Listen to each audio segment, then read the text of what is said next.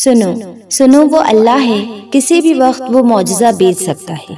मायूस वो होते हैं जिनको रब पर यकीन नहीं होता। मायूस वो होते हैं जिनका ईमान कमज़ोर होता है। मायूस वो होते हैं जो डर जाते हैं दुनिया से। सुनो, तुम ऐसे लोगों में शामिल ना होना। हमेशा इस बात को याद रखना, तुम्हारी मुसीबतों से तुम्हारा रब बहुत बड़ा है। वो कुन कहेगा और तुम्हारे तमाम मसाइल पलक झपकते ही हल हो जाएँगे। उम्मीद कभी ना छोड़ें, कल वो दिन हो सकता है जिसका आप इंतज़ार कर रहे थे। वो जानता है, वो जानता है तुम्हें दर्द से कोहराते हुए। वो समझता है तुम्हारी बेजबानी। वो महसूस करता है तुम्हारा लड़खड़ाना। वो भांप लेता है तुम्हारा इरादा। वो कबूल करता है तुम्हारी सदाओं को। वो माफ़ करता है तुम्हारी लफ्जिशों को। वो मोहताज नहीं है किसी का, क्योंकि वो हाकिमुल हाकिमीन है। ज़िंदगी के किसी न किसी मोड़ पर तुम्हें किसी न किसी को खोना है और आखिरकार तुम्हें अल्लाह ही की रजा में राज़ी होना है। हज़रत अली ने फरमाया, लोगों की बातों को दिल पर लेना छोड़ दें, अपनी ज़िंदगी का मकसद सिर्फ़ रब को राज़ी करना रखें। कहाँ तेरा आस्ताना कहाँ मेरी सजदा रेजी? तेरे दर के हों जो काबिल, वो मैं लाऊं सर कहाँ से? सफ़ा और मरवा दरअसल एक औरत के सब्र की निशानी है। जब आपको बेकसूर तपते हुए सहरा में छोड़ दिया जाए और आप इस तवक्कुल पर कि अल्लाह जाय नहीं करेगा, सब्र करें तो फिर जमजम के चश्मे फूटते हैं। और कुछ लोगों को अल्लाह मूसा की तरह लाडला रखता है, उन्हें तकलीफ़ देकर आजमाता है और इंतज़ार करवाता है। लेकिन फिर वो अपने लाडलों को तकलीफ़ में तन्हा भी नहीं छोड़ता। और उनके लिए समंदर के दरमियान से रास्ता बनाकर उन्हें फिरौन जैसों से महफूज रखता है। तुमसे ये किसने कह दिया कि अल्लाह के लाडलों को तकलीफ़ नहीं मिलती। उन्हें तो फिरौन जैसों से लड़ना पड़ता है। तकलीफें तो सबको मिलती हैं लेकिन उसके हिस्से में ज़्यादा आती हैं जो उसे सबसे ज़्यादा महबूब होता है। जब कबूलियत के तमाम दरवाजे बंद हो जाते हैं ना तब भी एक राह होती है तहजुद जहाँ कबूलियत लाजिम हो जाती है घबराओ नहीं, ये मुश्किल वक्त भी अन करीब गुजर जाएगा। तुम यकीन रखो अल्लाह पर, वो तुम्हारे लिए काफ़ी हो जाएगा। नजरअंदाज कर दो वो सारे वसवसे, जो तुम्हारे दिल को बेचैन करते हैं। तुम मदद मांगो, तुम मदद मांगो अल्लाह से, फिर देखो। फिर देखो तुम्हारी सब मुश्किलात का हल निकल आएगा।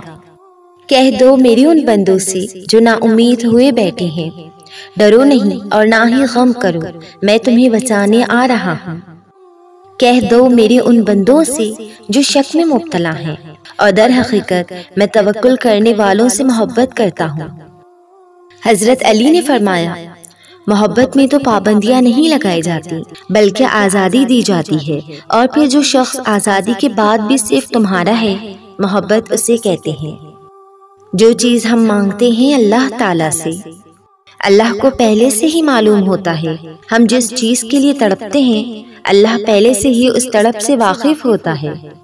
जब उसे सब पहले पता होता है तो हमें अता क्यों नहीं करता?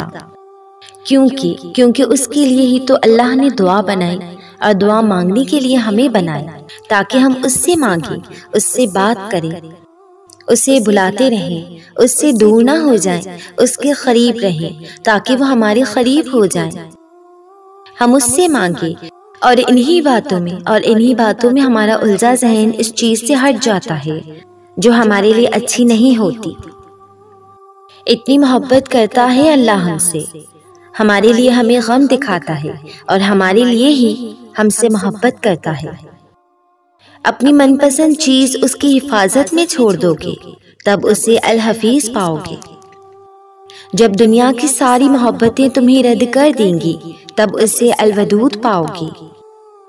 अपने मामलात का फैसला उस पर छोड़ दोगे, तब उसे अल हकीम पाओगे। जब काम कहीं से ना बन रहा हो, तब तुम उसे अल वकील पाओगे। जब गुनाहों से लिपट कर हार जाओ, तब उसे अल गफ्फार पाओगे। सच्चे दिल से, सच्चे दिल से कामिल यकीन के साथ की गई दुआ कभी रद्द नहीं होती। कुछ दुआएँ तो खुलूस नीयत से अल्लाह से पूरी यकीन से मांग के उसके हवाले कर देना।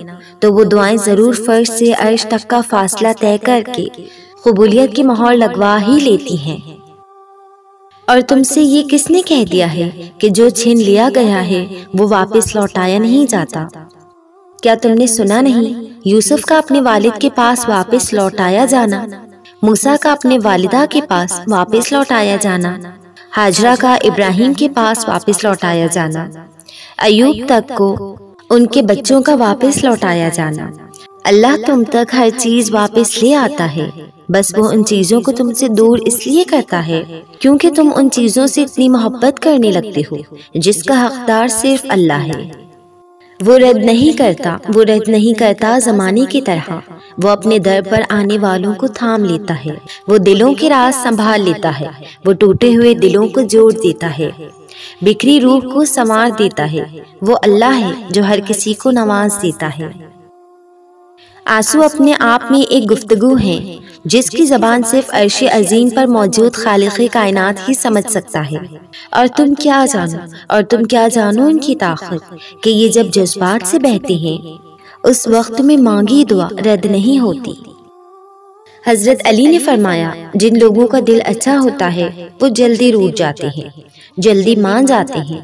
जल्दी रोने लग जाते हैं और जल्दी हंसने लग जाते हैं। ऐसे लोग अल्लाह को बहुत प्यारे होते हैं तहजद के सजदों में तुम्हारा रोना जाय नहीं जाएगा। इनशाला इनशाला वो जल्द सब कुछ मिलेगा।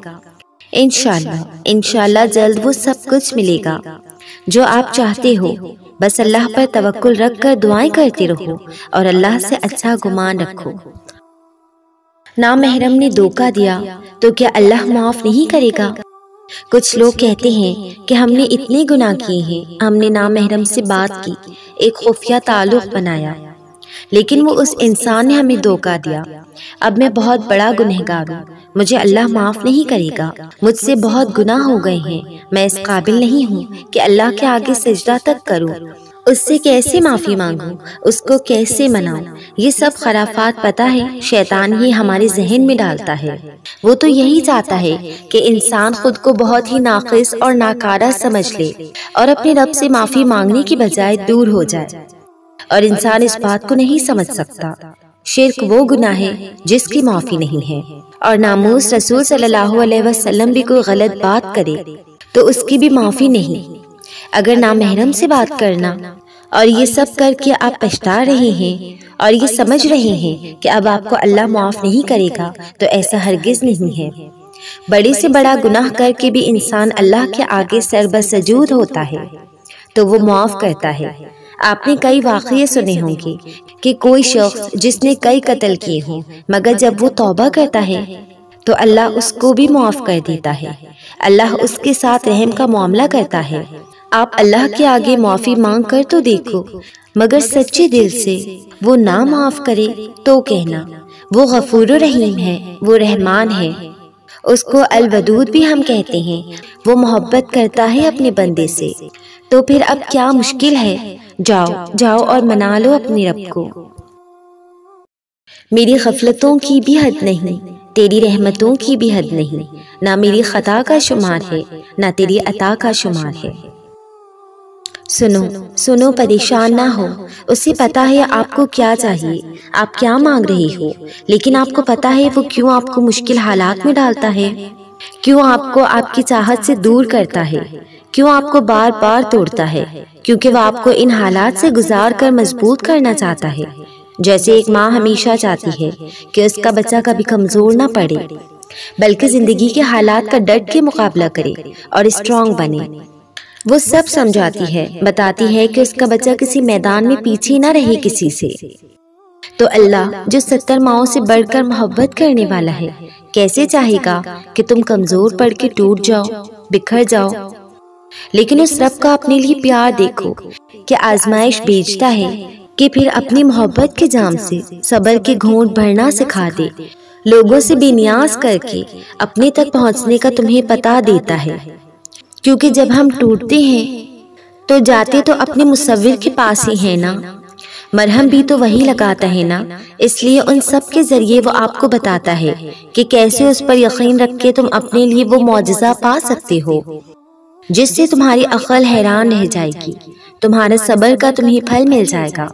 और तुम अल्हम्दुलिल्लाह कहते हुए सजदा रेज हो जाओगे।